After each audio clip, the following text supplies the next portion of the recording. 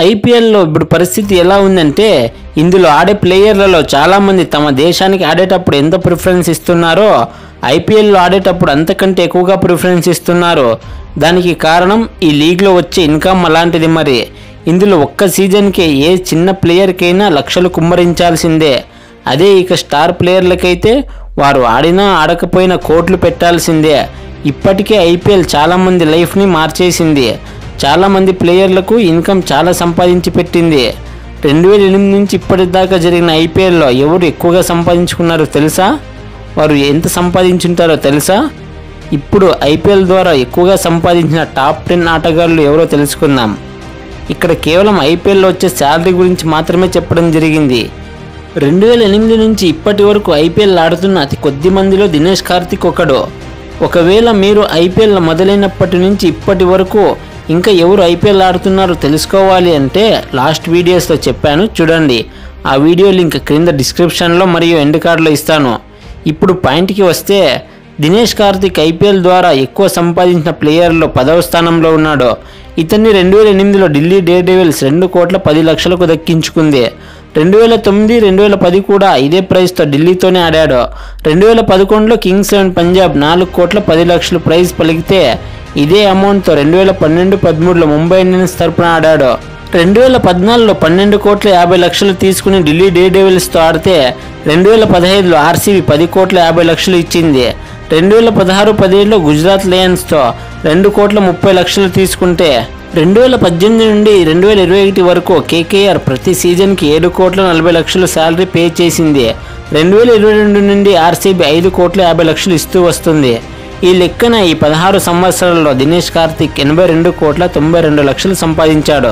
ఈ లిస్ట్లో తొమ్మిదవ స్థానంలో గబ్బర్ అదేనండి శిఖర్ ధవన్ ఉన్నాడు. ఇతన్ని కూడా రెండు వేల ఎనిమిదిలో ఢిల్లీని తీసుకుంది పన్నెండు లక్షలకి. ఇదే ప్రైస్తో రెండు వేల తొమ్మిది రెండు వేల పదిలో ముంబైతో ఆడాడు. రెండు వేల పదకొండులో మన తెలుగు టీం డెక్కన్ చార్జెస్ కోటి ముప్పై ఎనిమిది లక్షలకు దక్కించుకోగా రెండు వేల పన్నెండు రెండు వేల పదమూడులోనూ ఇదే అమౌంట్ ఇచ్చారు. ఏమంటే రెండు వేల పదమూడులో ఎస్ఆర్హెచ్గా మారింది మన తెలుగు టీం. రెండు వేల పద్నాలుగు నుంచి ఇతని రేంజ్ అమాంతం పెరిగిపోయింది. ఎస్ఆర్హెచ్ ఇతన్ని వదులుకోలేక రెండు వేల పద్నాలుగు నుంచి రెండు వేల పదిహేడు వరకు ప్రతి ఏటా పన్నెండు కోట్ల యాభై లక్షలు ఇస్తూ వచ్చింది.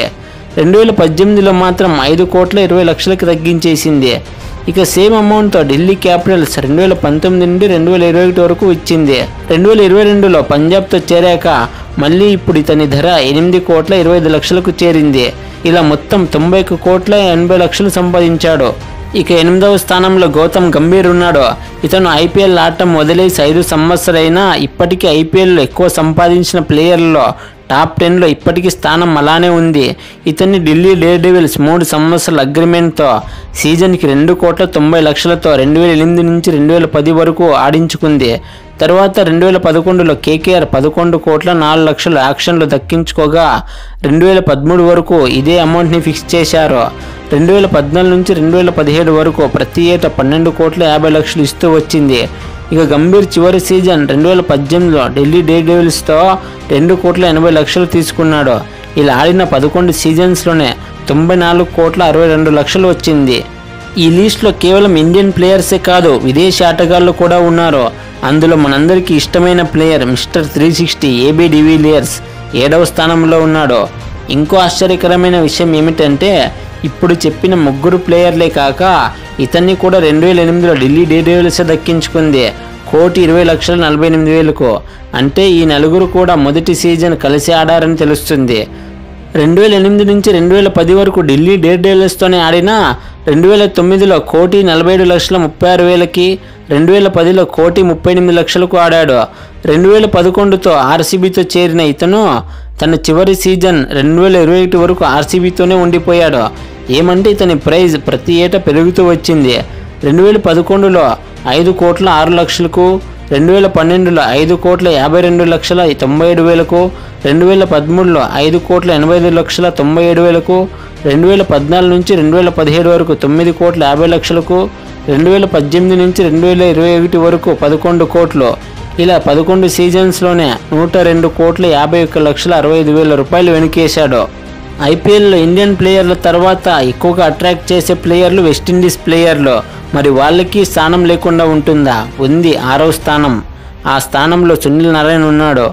ఇతను రెండు వేల పన్నెండు నుంచి ఐపీఎల్ ఆడుతున్నప్పటికీ అప్పటి నుంచి ఇప్పటి వరకు ఒకే ఫ్రాంచైజీకి ఆడాడు కేకేఆర్తోనే.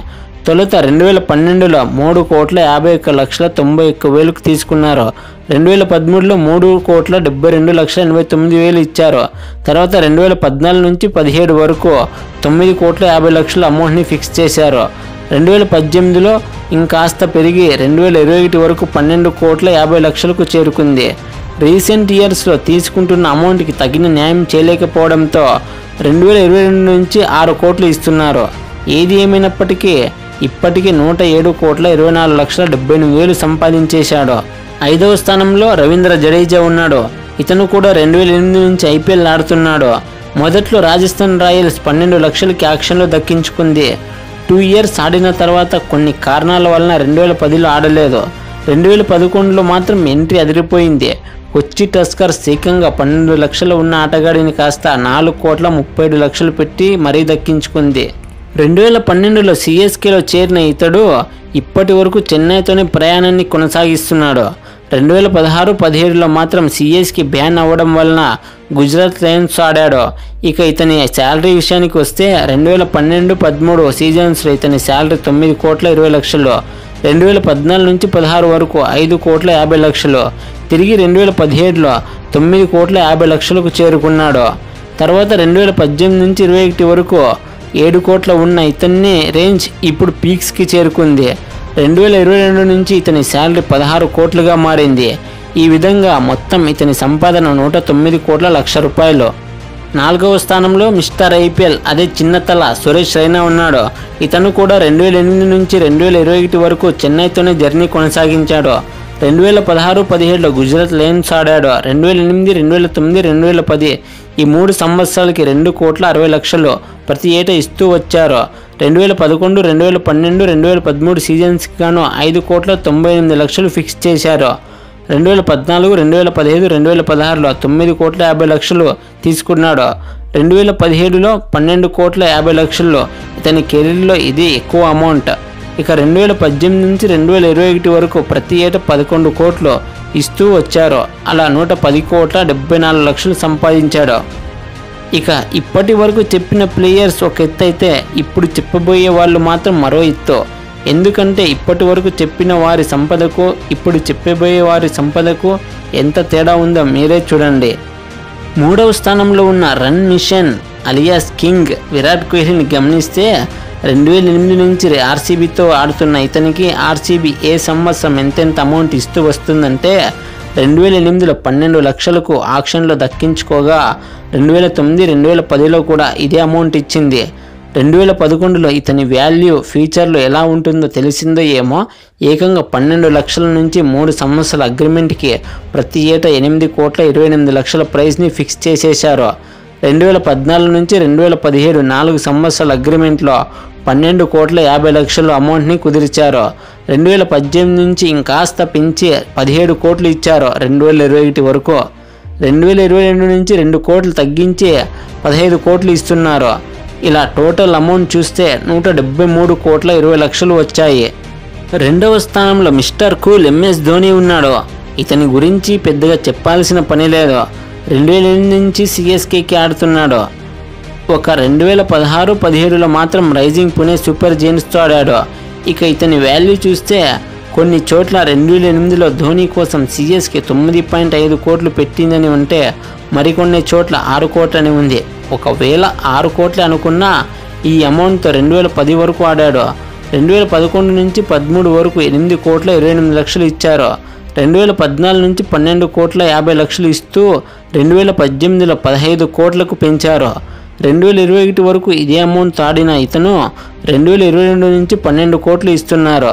పదహారు సంవత్సరాలకి మిస్టర్ కోల్ నూట డెబ్బై ఆరు కోట్ల ఎనభై నాలుగు లక్షలు సంపాదించాడు. ఇక నంబర్ వన్ స్థానంలో చూస్తే హిట్ మ్యాన్ రోహిత్ శర్మ ఉన్నాడు.